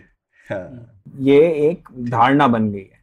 इसको नालसा जो दिल्ली में बैठते हैं जो सेंट्रल गवर्नमेंट की बॉडी है in the sense funded by them supreme court के अंदर आता है गवर्नमेंट का नहीं है। वो कर रहे हैं कोशिश। उन्होंने तेरह पायलट प्रोजेक्ट चलाए हुए हैं तेरह डिस्ट्रिक्ट्स में जहाँ पर वो एक लीगल डिफेंस काउंसिल सिस्टम लाना चाहते हैं जो सिर्फ़ अक्यूज की तरफ़ से लड़ेगा। मान लीजिए मुझ पे आरोप लग गया मैं हूँ बहुत गरीब मैं नहीं कर सकता हूँ अफोर्ड हम्म, मैं सत्रह साल का और मैं मेंटली भी थोड़ा सा मुझे मिर्गी आती। हम्म, मुझे बरगला दिया मेरे साथियों ने कहीं पे पुलिया पे ही बैठा था। और हम्म। वहाँ पे उन्होंने करी बाइक चोरी इल्ज़ाम मुझ पर लगवाया। थानेदार ने भी कहा इसी को उठाओ इसको जेल भेज दिया। अगले बार भी मुझे ही जेल भेजा। और मैं तो मैं हूँ fit case for legal aid. पर क्योंकि पहले विक्टिम और अक्यूज दोनों के लॉयर एक ही हो रहे थे तो अब नालसा चाह रहा है कि हम अक्यूज के लिए अलग सिस्टम क्रिएट करें जो कि पेरोल होगा स्टाफ लॉयर्स पेरोल पे होंगे। अच्छा। हाँ तो वो एक बहुत अच्छा मैंने हाल में ही विज़िट करा राजस्थान के भरतपुर डिस्ट्रिक्ट में। ये इनका एक डिस्ट्रिक्ट सेंटर और उससे अगर ये वो हो गया बहुत फ़र्क पड़ सकता है उससे बहुत फ़र्क पड़ सकता है। कोशिशें चल रही हैं सौरभ जी कोशिशें चल रही हैं बस उसको और पुश करना है कैसे स्पीड बढ़ाएँ उसकी। हम्म नहीं वो तो किसी ने हमको एक बार पुलियाबाजी में शायद बोला था हिंदुस्तान में आपको पायलट प्रोजेक्ट तो वर्ल्ड क्लास मिल ही जाएँगे। प्रॉब्लम यही होती है कि हिंदुस्तान इतना अथाह महासागर जैसा देश है कि बहुत अच्छी अच्छी कोशिशें जो हैं वो बूंद जो है सागर में बूंद की तरह से हो जाती हैं तो वो हमको बूंद के सागर बनाने वो राम भरोसे ना अब ऐसा चल रहा है तो क्यों हटा इसको? मतलब चल रहा है ना काम? यही लोग और ये बड़ा ही खुदगर्ज वाला लॉजिक है। नहीं नहीं वो तो बिल्कुल बिल्कुल आपकी ठीक बात है। हाँ तो इसी बात पे लीगल एड पे ही आपने क्या बदलाव देखे? कुछ अच्छे इंस्टेंसेस है क्या? किसी राज्य ने बहुत अच्छा किया या बदलाव किए पिछले एक दो साल में? उसके हाँ। बारे में कुछ बताइए। बिल्कुल बिल्कुल। तो पहले जैसे नेशनल स्पेंड राष्ट्रीय जो हम प्रति व्यक्ति स्पेंड था लीगल एड पे मुश्किल से पिछहत्तर पैसे था। हम्म। अब वो बढ़ के सवा रुपए की तरफ़ जा रहा है। एक मैं बजटरी आइडिया दे रहा हूँ आपको कि ये बजट बढ़ा रहे हैं सेंट्रल गवर्नमेंट की तरफ़ से भी और स्टेट से भी। लीगल एड में आपको वेकेंसियाँ कम मिलेंगी डिस्ट्रिक्ट लेवल पे। ज़्यादातर पद भर चुके हैं। ज़्यादातर जिलों में डिस्ट्रिक्ट लीगल सर्विस अथॉरिटी चल रही है जो कि पहले ऐसा नहीं था। लीगल एड का फ़ंक्शन सिर्फ़ रिप्रेजेंट करना नहीं है अक्यूज और विक्टिम को जो कि नीडी हैं पर यह भी है कि जनता को उसके लीगल राइट्स उसके एंटाइटलमेंट्स के बारे में अवेयर करना। हम्म। ये भी बहुत बड़ा रोल है। इसके लिए ये लोग कॉन्ट्रैक्ट पे लेते हैं पैरालीगल वॉलंटियर्स जो कि बारहवीं पास होते हैं। अब हम डिबेट कर सकते हैं कि दसवीं बारहवीं में क्या पता होता है जो भी पर पैरालीगल वॉलंटियर्स बहुत हैं आज की डेट में इंडिया के अंदर। आप कह सकते हैं ये क्या एम्प्लॉयमेंट गारंटी स्कीम है। लेकिन हर चीज़ में कमियाँ हैं। पर ये लीगल एड की तरफ़ सुप्रीम कोर्ट का बहुत ज़्यादा फोकस रहता है अक्सर।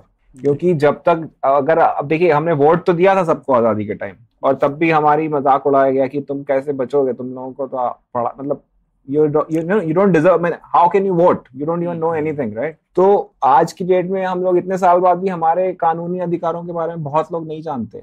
तो उनको पहली चीज़ तो जागरूकता बढ़ रही है। जागरूकता लीगल एड अपने अधिकारों के लिए। तो और ये भी बोलूँगा मैं कि कुछ बजट आता है सेंट्रल से, सेंटर से, नालसा की तरफ़ से, लीगल एड की तरफ़, और कुछ आता है स्टेट अपना देता है। तो हम देख रहे हैं कि राज्यों में लीगल एड की तरफ़ ज़्यादा बजट दिया जा रहा है साल दर साल। कम नहीं हो रहा है। वो इंक्रीज हो रहा है। हम्म। तो इसमें एक चीज़ मुझे बताओ वले कि ये जिस तरह से तुमने एक्सप्लेन किया, ये बहुत ही जजेस और कोर्ट से रिलेटेड लग रहा है। जबकि सबसे पहले लीगल एड थानों में होनी चाहिए क्योंकि हाँ। वो एक फ़र्स्ट कांटेक्ट है। बिल्कुल बिल्कुल। तो ये थोड़ा मुझे लगा ये इस चीज़ पे बारे में कोई सोच रहा है या ये ये नहीं? क्योंकि आइडियली हर थाने से जुड़ा हुआ एक वकील होना चाहिए ना। हाँ हाँ। क्योंकि जब तक तो बंदा पहुँचता है कोर्ट में तब तक तो बहुत उसकी उसकी मतलब उसकी क्या हालत हो चुकी होती है तब तक। मुझे लगता है आपको काफ़ी आइडिया है इसके बारे में। तभी आपने ये सवाल पूछा है। और ये एक बॉट ये एक प्रॉब्लम पॉइंट है पुलिस थाना। हम्म, हम्म, और पुलिस थानों में और इवन इन जुडिशरी मतलब डिस्ट्रिक्ट कोर्ट्स की राज्यों में अलग अलग एक्सपीरियंस आए हैं। थानों में league I mean legal aid के लॉयर्स का कॉन्टैक्ट नंबर देने का या उनके बोर्ड लगाने का तो बाकी लॉयर्स खड़े हो जाते हैं कि भाई ये क्यों? ये तो हमारा बिज़नेस खा रहे हैं। हम्म, तो पुलिस उस पछड़े में नहीं पड़ना चाह रही है। तो ये पुलिस की तरफ़ से पुश बैक कि थाने में कोई नहीं घुसेगा। अच्छा। हाँ कि थाने तो थाना भाई थाना माइन हम, हम हमारा डंडा है यहाँ हाँ हाँ। यहाँ पे किसी को नहीं और नहीं बैठना है। हम्म, अब अपवादों की बात कर रहे हैं पर हाँ। तो यहाँ पे है। है जहाँ पे ये एक आसान चीज़ होती है मेरे, मेरे हिसाब से तो हर थाने में लीगल एड का ऑफ़िस होना चाहिए। इतना फ़र्क आ जाएगा उससे पूछो मत। बिल्कुल सही कह रहे हैं आप सौरभ जी। लेकिन थाने के अंदर घुसने नहीं दे रहे हैं पुलिस वाले। हम्म। अब जेलों तो के अंदर सोशल वर्कर को नहीं घुसने देते हैं? हम्म। और हम्म। थानों के अंदर लॉयर को मतलब सेटिंग वाले लॉयर की बात नहीं कर रहा हूँ। वो तो अलग है। हाँ वो अलग है। पर हम्म। एक institutional space hmm. For free legal aid lawyers हाँ। With you know there is scope for exploitation there is scope for corruption. All those problems are there but they are there everywhere ना अगर हाँ, वो तो ठीक है। पर होना चाहिए एकदम सही है और वही एक सॉर्ट ऑफ़ ब्लाइंड स्पॉट है राइट नाउ क्योंकि वो कोर्ट में तो पता चल रहा है कि इनको लीगल एड चाहिए पर अगर उसे थाने लेवल पे ही पता चल जाए तो बिल्कुल। हियर उसके प्रोडक्शन के टाइम पे ही लॉयर वहाँ मौजूद हो जाएगा। हाँ। उसको, जेल ही नहीं जाना पड़ेगा हो सकता है। बिल्कुल तो वही तो मैं कह रहा हूँ वो पॉइंट होना चाहिए जहाँ पे आप उसको क्योंकि जो अमीर आदमी होता है वो तो फ़ोन करके लॉयर उसी समय बुलाता है ना आप ये सोचिए। हाँ हाँ। और गरीब आदमी को कब मिलता है लॉयर जब वो ऑलरेडी जेल पहुँच जाता है या कोर्ट के अंदर होता है? तो बहुत हाँ। तो, तो तब तक तो आप बेचारा आप कितना भुगत चुके हो? बिल्कुल और कोई नहीं देखना चाहता उनका दर्द हम्म, क्योंकि उनका दर्द नहीं देखने से किसी को फ़र्क नहीं पड़ता। हम्म, तो वो है वो ही प्रॉब्लम है। और पुलिस उसमें पुश बैक है। क्योंकि हम्म। अभी देखिए ना मैं और मिसाल दूँ सीसीटीवी कैमरे लगने चाहिए पुलिस स्टेशन में। Supreme hmm. कोर्ट ने कहा 2020 में। हर पुलिस स्टेशन में हर कॉरिडोर वगैरह वगैरह हर जगह पर एक CCTV hmm, hmm, supreme court ने ये कहा टॉर्चर ना हो इसलिए। अब लोग कह रहे हैं कि भाई टॉर्चर तो वैसे भी होगा। Anyway that's besides the point supreme court has ordered CCTV लगने चाहिए। राज्यों ने एफिडेविट डाल दिए किसी ने कहा हमें तीन साल चाहिए किसी ने कहा हमें छह साल चाहिए किसी ने कहा हमें आठ साल चाहिए। कोई नहीं लगा रहा सीसीटीवी जैसा उसका इम्प्लीमेंटेशन होना चाहिए। तो पुलिस अपने ऊपर स्क्रूटनी मतलब कोई भी सरकारी डिपार्टमेंट नहीं चाहेगा पर इसे हम कैसे चेंज करें मान सकते सर्विस है ना सर्विस है ना ये। बिल्कुल बिल्कुल बिल्कुल। तो आ, इसी रिपोर्ट में मैंने पढ़ा लिखा था कि तकरीबन चार लाख सीसीटीवी अभी डिप्लॉय हो चुके हैं। उसमें से साठ प्रतिशत तेलंगाना के हैं। और लेकिन वो सब सीसीटीवी ज़्यादातर सर्वेलेंस और सिक्योरिटी के लिए होते हैं जवाबदेही के लिए नहीं। तो पुलिस अपने आप ही नहीं रखाना चाहते थाने में लेकिन हाँ हर जगह लगवा दो जिससे कि हम लोगों का काम कम हो जाए। बिल्कुल बिल्कुल बिल्कुल। वो इसीलिए पुलिस डरावनी भी और उसका डरावना जो रूप है वो कम नहीं हो रहा है क्योंकि जवाबदेही नहीं फिक्स कर पा रहे हम लोग। हम्म, और हम्म। पॉलिटिकल एग्जीक्यूटिव जवाबदेही किस मुँह से फिक्स करेंगे? हम्म, उनको खुद साफ़ होना पड़ेगा ना। हम्म, तो जब आप सभी एक हमाम में नंगे हैं हम्म। तो फिर कोई क्यों मतलब? ये अब पर इसमें judiciary higher judiciary time to time orders देते हैं। वो इम्प्लीमेंटेशन नहीं करवा पाते हम लोग इसीलिए जस्टिस रिपोर्ट और ऐसे प्रयास ये कि भाई justice delivery access to justice को मुद्दा कैसे बनाएँ इसको मुख्य धारा का टॉपिक कैसे बनाएँ हम्म। ये हमारा मकसद है इस रैंकिंग वगैरह से और इसमें सबका सपोर्ट चाहिए बिल्कुल हम्म। सही बात कही आपने और अब जो चौथा स्तंभ है उसके ऊपर बात करते हैं जो कोर्ट व्यवस्था है उसमें भी मतलब आमतौर पर कहानियाँ हैं लोगों पता है कि कमज़ोर है लेकिन कुछ राज्यों में अपने सुधार देखे क्या किस तरीके का बदलाव हो रहा है उसके बारे में कुछ बताइए। बिल्कुल मैं आपको एक तो कोविड के दौरान क्योंकि हम उसके पहले की बात कर सकते हैं और उसमें मैं एक जो इशू है जो जस्टिस रिपोर्ट के लिए बहुत इम्पोर्टेंट है और आपके लिए भी होगा अन्य चीज़ों में भी इम्पोर्टेंट है भाई संविधान ने उसको गारंटी करा है वो है कि डाइवर्सिटी जस्टिस सिस्टम उतना ही विविध होना चाहिए, जितना आपका देश है, जितना वो समाज है जिसको जस्टिस सिस्टम सर्व करता है, ना? तो अगर आपके यहाँ करीब 20 परसेंट सेंसस के हिसाब से शेड्यूल कास्ट हैं तो आपके यहाँ आसपास 20 परसेंट से आसपास होना चाहिए। हर राज्य अपनी हर राज्य की S C S T O B C Muslim what आबादी के हिसाब से उसके जस्टिस सिस्टम में भी लोग होना चाहिए, खासकर पुलिस में होना चाहिए। तभी वो एक दूसरे को मतलब वो बेटर सर्व कर पाएगी पुलिस। मैं ये बात ओवरऑल पॉइंट कहना चाहता था पहले नहीं कह पाया था सॉरी लेकिन हाँ जुडिशरी पे आऊँ तो जुडिशरी में महिलाओं का शेयर बढ़ता जा रहा है लगातार महिला जजेस का। ये अच्छी बात इसमें कोई संदेह नहीं है कि ये अच्छी बात नहीं है क्योंकि हमारे यहाँ इतने ज़्यादा गैप्स हैं between gender between caste between class कि जब तक उसी तरह के लोग गद्दियों पे नहीं बैठेंगे हम्म। तब तक उस तरह के समाजों को भरोसा भी नहीं होगा कि उन्हें कुछ मिल सकता है। So that is one positive the second positive during COVID is that judiciary has actively tried to technology के थ्रू सिंपल करना एक्सेस वो वो उन्होंने करा ई कोर्ट्स प्रोजेक्ट के द्वारा वो कर रहे हैं। बहुत V C facility video conferencing facility बहुत ही कम कोर्ट्स में लागू थी कोविड के हम्म, पहले। हम्म, कोविड के टाइम पे मजबूरी का नाम तो वीडियो कॉन्फ्रेंस हम्म। तो जजेस को थक हार के यूज़ करना पड़ा। जो लॉयर्स भी नहीं कभी चाहते होंगे कि हम कभी इस तरह से कुछ यूज़ करें रिमोटली उन सबको करना पड़ा। ई फाइलिंग आप फाइलिंग कर सकते हो आप फ़ीस दे सकते हो और भी आप अन्य चीज़ें हैं जो कि आप टेक्नोलॉजी के थ्रू कर सकते हो जो कि जुडिशरी ने करा है। ये हम्म। मानना पड़ेगा। मध्य प्रदेश हाई कोर्ट ने तो 29 करोड़ पेजेस जो कि केस पेपर्स हैं उनको डिजिटाइज भी करा है। तो लोगों ने मतलब जुडिशरी में जागरूकता की वजह से और क्योंकि ग्लोबल रैंकिंग्स में ईज ऑफ़ डूइंग बिज़नेस में जुडिशरी की वजह से हमारी रैंकिंग खराब होती हम्म, है कमर्शियल डिस्प्यूट्स केसेस में। सी हम भी यही कह रहे हैं कि to develop you need to have a good justice system बिल्कुल। बिल्कुल। हम्म, तो judiciary is conscious of it they are trying in the I would say that is though and एक होता है केस क्लियरेंस रेट पर जैसे कि जितना आपका आ रहा है केस साल में उतना आप क्लियर कर दो हम्म। उतना तो कर दो तो मतलब सौ परसेंट होना चाहिए वो। हंड्रेड होना चाहिए केस क्लियरेंस रेट कम से कम आधे से ज़्यादा राज्यों में वो है हंड्रेड हम्म, और अच्छा। हाँ एक और मानक मैं बोलूँगा कि ऐसे राज्य जहाँ पर दस साल से ज़्यादा पेंडिंग केसेस हैं तो मान लीजिए उनका परसेंटेज कम हो रहा है। मतलब मैं मिसाल कैसे दूँ आपको? हमारी रिपोर्ट में एक अच्छा सा ग्राफिक है हम्म। जो कि बताता है कि हर राज्य में कितने प्रतिशत केसेस दस साल से ज़्यादा पेंडिंग अच्छा हम्म, वो बहुत कम राज्यों में ऐसा होगा कि वो बीस परसेंट से ज़्यादा हो। तो वो कम होता जा रहा है। अब उत्तर प्रदेश और महाराष्ट्र ये सबसे बड़े हाई कोर्ट माने जाते हैं। हम्म। आई थिंक उत्तर प्रदेश में ही एक आध करोड़ केस होगा। चार करोड़ इंडिया का है उत्तर प्रदेश ही शायद होगा। हम्म, एक आध करोड़।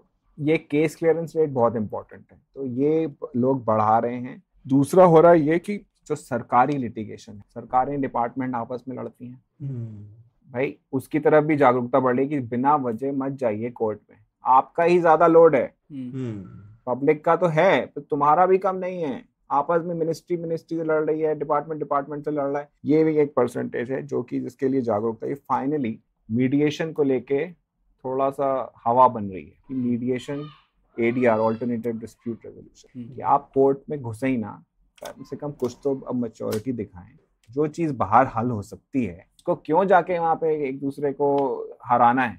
हम्म, और टाइम वेस्ट करना है नेशनल रिसोर्सेज के ऊपर बर्डन बनना है तो government is working on a bill on mediation so let's see तो ये ही सकारात्मक है पर फिर भी जजेस नहीं हायर कर रहे. जज पॉपुलेशन रेशियो बहुत कम है। हम्म, और जब तक ह्यूमन रिसोर्स नहीं लाओगे और उस ह्यूमन रिसोर्स को अच्छे से ट्रेन नहीं करोगे तब तक ज़्यादा सुधार नहीं होगा। कितने इंजीनियर बैठा दीजिए रॉकेट थोड़ी उड़ पाएगा। हम्म, हम्म, तो हमारी ट्रेनिंग का परसेंटेज है शायद छह महीने मतलब एवरेज हमारा ड्यूरेशन इंडक्शन ट्रेनिंग ऑफ़ जजेस हम्म। और देशों में डेढ़ साल दो साल तीन साल। हम्म, तीन साल में आप तैयार करते हो एक चीज़ को और हमारे यहाँ बेल्ट की तरह निकाल तो जज की ट्रेनिंग सिर्फ़ छह महीना होती है डिप्लोमा भी नहीं है ये तो। नहीं वो ऑलरेडी पढ़ के आते हैं ना। बढ़ के। नहीं पर वो लॉयर होते हैं। एक लॉयर और जज में फ़र्क तो होना चाहिए ना। नहीं इंडक्शन ट्रेनिंग छह महीने की होती है। हाँ। और इस बात पे भी अब बात करना ज़रूरी है। हम लोग कोशिश कर रहे हैं कि हम ट्रेनिंग को अच्छे से देखें अगली रिपोर्ट में। ट्रेनिंग हम्म। को देखें ह्यूमन राइट्स कमीशन को देखें और स्टेट फोरेंसिक लैब्स को देखें। अब एक और चीज़ छूट छूट रही है इसमें कि ठीक है भाई पुलिस पे काम कर लिया जजेस को समझा लिया पढ़ा लिया लीगल एड अच्छी होगी प्रिजन में हाल पर पुलिस को तो फोरेंसिक का नॉलेज होना चाहिए हम्म, इसके लिए फोरेंसिक की कैपेसिटी होनी चाहिए आपके हम्म। कर्नाटक में शायद वहाँ पे तक्षशिला बेस्ड है शायद ही है वहाँ पे बेस्ड हम्म। पटना में हम्म। वहाँ पे हाई कोर्ट ने हाईकोर्ट में एफिडेविट दिया है स्टेट फोरेंसिक लैब ने कि हमें छह महीने लगते हैं इस तरह के सैंपल को प्रोसेस करने के लिए एक सैंपल को और आठ महीने लगते हैं इस तरह के सैंपल को और डीएनए तक के लिए महीनों का टाइम दिया है खुद बोला है सरकार ने। हम्म, तो स्टेट बिना फोरेंसिक एविडेंस के आप कैसे प्रूव करेंगे कि कोई दोषी है या निर्दोष? और वही वो बहुत कमज़ोर कड़ी है बहुत ही ज़्यादा कमज़ोर कड़ी है स्टेट फोरेंसिक लैब। और आप लोग भी देखते होंगे हमारे दर्शक भी देखते होंगे शोज़ जहाँ पे फोरेंसिक की जागरूकता बॉलीवुड हॉलीवुड और यूके और ओटीटी पे ज़्यादा है। हम्म, और सारे रिज़ल्ट जो है वो अगले दिन आ जाते हैं। हाँ। मूवी में। वरना मूवी का टाइमलाइन कैसे चलेगा ना? मूवी और सीरियल में तो एक दिन में सब रिज़ल्ट आ जाते हैं। बिल्कुल बिल्कुल। और हाँ। ये है ये फोरेंसिक एक नया इशू आ रहा है उभर के parliamentary committee on home minister home home ministry की जो पार्लियामेंट्री कमेटी स्टैंडिंग कमेटी उसने भी बोला है फोरेंसिक की हालत बहुत बुरी है। सुप्रीम कोर्ट बोलता आ रहा है तो हम लोग इस पे भी देखेंगे। इसको भी मज़बूत कर बिकॉज़ पुलिस क्या कर लेगी अकेले? हम्म, उसको प्रूव करना पड़ेगा ना। बिल्कुल। और ये मैन पावर तो इंडिया में है मतलब ये पैथोलॉजी वाले टेक्नीशियन और इनमें इतना फ़र्क थोड़ी है तो हिंदुस्तान में बहुत है हमको मतलब ये तो एक हमको और नया आयाम देखना चाहिए लोगों को रोज़गार देने का। बिल्कुल और अभी होम मिनिस्टर ने अनाउंस भी करा है कि यूनिवर्सिटी वगैरह खोली है एक तो अच्छा। पर यूनिवर्सिटी खोलना अच्छी बात है वहाँ पे ग्रेजुएट्स निकलेंगे। पर भर्तियाँ करो भर्तियाँ करोगे उनका बजट क्या है? वहाँ पे भी पेंडेंसी है कोर्ट की पेंडेंसी की बात सब करते हैं। हम्म। वहाँ की पेंडेंसी की बात नहीं कर पा रहे हैं लोग हम करेंगे अगली बार। और हम्म, कन्विक्शन रेट मैं उसमें यकीन नहीं करता ना ही बहुत ज़्यादा लोग जो मानव अधिकार वगैरह उसके बारे में सोचते हैं। लेकिन ये बात सोचने वाली है विक्टिम के परस्पेक्टिव से कि आपका मर्डर रेप वगैरह में ऑक्सो जो कि बच्चों के यौन शोषण के खिलाफ नया कानून बना था 2012 में कन्विक्शन रेट बहुत कम है हमारा। तो इसीलिए कई जेल अधिकारियों ने हमें कहा कि आप लोग नाहा की परेशान हो रहे हैं अपराधी तो बाहर घूम रहे हैं। हम्म, मतलब आप उनके लिए परेशान हुई कि इंडिया में जो असल में अपराधी है वो जेल में नहीं है। हम्म, उनका मतलब एक बात के लिए उन्होंने कहा। ठीक। तो हम लोग प्रूव नहीं कर पा रहे हैं ना कन्विक्शन रेट बहुत कम है। हम्म। मुश्किल से 80 परसेंट टच हो रहा है in very serious crimes. Hmm, am giving a higher limit of 80 it's around 54 percent Hmm. 64 percent now we don't want to compromise human rights for the sake of higher conviction. But at the same अगर मेरे साथ कुछ गलत हुआ है तो मैं चाहूँगा मेरा दोषी जो है उसको सजा मिले ना। और अगर हम उसे कानूनी रूप से चाहेंगे तो हमें फोरेंसिक चाहिए। और भी अन्य अन्य चीज़ें चाहिए। भर्तियाँ होनी चाहिए पूरी। ये सारी चीज़ें हैं। हम्म, बिल्कुल। तो इसमें एक और सवाल था मेरा वाले जैसे आपने बहुत सारे डेटा सोर्सेज यूज़ किए हैं क्योंकि ये सब चीज़ें अलग अलग खानों में मौजूद है। तो क्या ये डेटा सेट आप लोगों को सबसे पहले आसानी से मिल पाए कि उसमें भी लोगों ने बोला होगा क्यों दे रहे हो? और एक रिपोर्ट बनाएँगे सर पे बोझ हमारे लिए। कि आपके लिए हम्म। ठीक था ये सब डेटा सोर्सेज का एक्सेस मिलना? नहीं तो हम लोग क्योंकि राष्ट्रीय स्तर की रिपोर्ट निकाल रहे हैं रैंकिंग निकाल रहे हैं हम लोगों ने ऐसे सोर्सेज यूज़ करे हैं जो कि पीरियोडिक हैं और सरकार के हैं सेंट्रल लेवल हमें दिक्कत तो नहीं हो रही है उस तरह से हम्म। कि हमें डेटा नहीं मिलता कुछ चीज़ों में हमें डेटा नहीं मिलता पर हमें वहाँ पे फिर कोऑपरेशन मिलता है इंस्टीट्यूशन का नालसा हमें कोऑपरेट करती है काफ़ी कि वो स्टेट्स को भेजती है हमारे फॉर्म जो हमें चाहिए और वो वापस बुलाती है। प्रॉब्लम प्रणय डेटा की पता है क्या है कि जो रिकॉर्ड हो रहा है ना स्टेट या थाने पे उसमें ही प्रॉब्लम है। हम्म, वो वो हम कह सकते हैं कि वो रिलायबल नहीं है पर हमारे जैसे रिसर्चर और क्या करेगा? हम्म, हमें, हम तो हर जगह जाके नहीं कर सकते कलेक्ट और अगर हम सेकेंडरी डेटा आई मीन हम प्राइमरी डेटा कलेक्शन करेंगे या सर्वे करेंगे तो हम बायस्ड कहलाएँगे। कोई ना कोई कहेगा कि तुम सब्जेक्टिव हो, तुम एंटी दिस हो, तुम एंटी दैट हो। इसलिए हमने कहा कि डेटा जैसा भी हो, आखिर केंद्रीय सरकार की इंस्टीट्यूशंस एनसीआरबी बीपीआरडी और e courts court news supreme court news annual report and NALSA ये लोग पब्लिश करते हैं। राज्यों की रिस्पॉन्सिबिलिटी है उनको डेटा भेजें। तो हमें डेटा में ना दूसरी तरह की प्रॉब्लम आती है कि फॉर्मेट सेम नहीं है अलग अलग वैल्यूज़ हैं पर वो और टाइम पे नहीं आती। कभी एक अ, हर साल आना चाहिए पर दो साल बाद आया तो अब हमें पुराना डेटा यूज़ करना पड़ता है। पर अ, हमें इस तरह की प्रॉब्लम आती है। और मैं अपने लिसनर्स को ये कहना चाहूँगा कि जस्टिस हब पे ये पूरा जो डेटा इंडिया जस्टिस रिपोर्ट का गिटहब पर अवेलेबल है तो अगर कोई और एनालिसिस करना चाहे इसके ऊपर, और विश्लेषण करना चाहे तो यूज़ कीजिए। सब बहुत लोगों को चाहिए इसमें कंट्रीब्यूट करने का। तो इसी से जुड़ा मेरा आखिरी सवाल है वलय कि जैसे आपने भी वर्णन किया, ये जो व्यवस्था है, इसमें तीनों तरह के फेलियर है। ये सरकारी फेलियर भी है, एक मार्केट फेलियर कम हद तक है, लेकिन सरकारी फेलियर है और सामाजिक फेलियर भी है। तो आप क्या संदेश देना चाहेंगे लिसनर्स को? किस तरीके से हम लोग एक सोशल फेलियर को फिक्स कर सकते हैं और किस तरीके से गवर्नमेंट फेलियर को फिक्स कर सकता है? कोई मुख्य रिकमेंडेशंस हैं जो आप बताना चाहेंगे? तो हाँ मतलब कुछ तो रिकमेंडेशन हमारी रिपोर्ट में ही हैं, जो कि टारगेटेड हैं संस्थाओं के लिए, सरकारों के लिए। उनमें हम ऐसी चीज़ें कह रहे हैं कि आप ऑडिट करिए, आपकी सर्विस के ऑडिट करिए। आप राज्य स्तर पे कोई सर्वे कराइए या आप किसी एजेंसी को बुला के देखिए, आप बजट कैसे यूज़ कर रहे हैं एफिशिएंसी क्या है, वो उस तरह के हैं। और हम दूसरा कहना चाहते हैं लोकलाइज करें जस्टिस इंस्टीट्यूशन को। छोड़ो यार, छोड़ो, थोड़ा सा तो हाथ ढीला करो। लोगों के पास भी कुछ जाने दो सब अपने पास मत रखो डिसेंट्रलाइज करो। ये हमारी एक मेजर ओवरऑल रिकमेंडेशन है। और दूसरा लोगों के लिए मतलब मैं इसको सामाजिक फेलियर तो नहीं मानूँगा। देखिए प्रणय हम लोग नेताओं को भी कब तक दोष देंगे? अंग्रेज़ों को भी कब तक दोष देंगे? पुलिस के लीडर्स हैं हाई रैंकिंग ऑफिसर्स हैं आईपीएस जजेस हैं। अगर वो कहते हैं ना कि जैकी श्रॉफ ने कहा था मेरुदंड सीधा रख। हम्म। तो मेरुदंड सीधा करने की ज़रूरत उनको भी है जो सरकार के लिए काम करते हैं, जनता के लिए। और जनता को भी अपने अधिकारों का ना सिर्फ़ ज्ञान होना चाहिए, पर उनको मांगना चाहिए। और जो अपने से कमज़ोर हो, उसका अधिकार के लिए भी आवाज़ उठाओ। ये बेसिक चीज़ें हैं। और ये सब हम लोग देखते भी हैं, हम फ्रॉम टाइम टू टाइम जब क्राइसिस आती है देश में तो लोग एक दूसरे के लिए खड़े भी होते हैं। अब मैं तो अच्छा ही देखना चाहूँगा, बुराइयाँ तो बहुत हैं। और अच्छाइयों को ही देखना और एक दूसरे को मज़बूत करना यही एक तरीका है। और कोई तरीका नहीं है हम ही को करना है। तो हम्म। मेरा यही है कि आप जस्टिस को गिव अप मत करो। जस्टिस हम्म। को छोड़ो मत जंगल राज नहीं है। अगर लगता है तो भाई उसको मत बनने दो पूरी तरह से। जंगल में हमें ही रहना है तो क्योंकि क्योंकि आज तो तुम पावरफुल हो कल तुम्हारे साथ कहीं किस्मत इधर उधर घूम गई तो हो सकता है फिर कहाँ जाओगे? फिर कहाँ जाओगे? ये संस्थाएँ बनाने में सत्तर साल लगे। चाहे जैसी भी हैं इनको बचाना है इनको अच्छा करना बिल्कुल बच्चन की भी फ़ेमस लाइन है ना मैं हूँ उनके साथ खड़ी जो सीधी रखते अपनी रीढ़।